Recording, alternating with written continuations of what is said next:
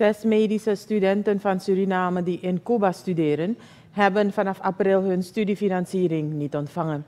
Ze hebben de noodklok geluid bij verschillende parlementariërs. Minister Antoine Elias van Volksgezondheid bevestigde gisteren in DNA dat er inderdaad stagnatie is opgetreden in de betalingen van de studietoelagen. Deze achterstand zal zo gauw als mogelijk worden ingelopen, beloofde de bewindsman. Inderdaad zijn er zes studenten op Cuba die een financiering hadden van NOB. De rest heeft met een instelling een overeenkomst waarbij zij terug moeten komen.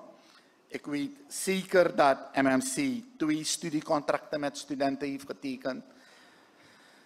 Maar uh, we zijn bezig met het geval van die studenten, die zes studenten. De bedoeling is, we proberen ze ook te helpen en dat is tot en met maart gelukt, april deels gelukt.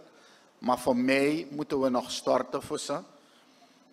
Het is natuurlijk een situatie waarbij wij uh, niet helemaal in de hand nog hadden.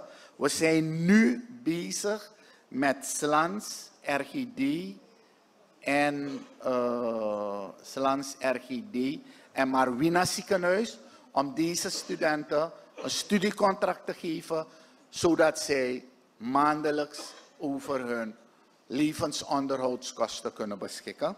Minister Antoine Elias van Volksgezondheid gisteren in DNA over achterstallige studietoelagen van Surinaamse studenten in Cuba, of die in Cuba studeren.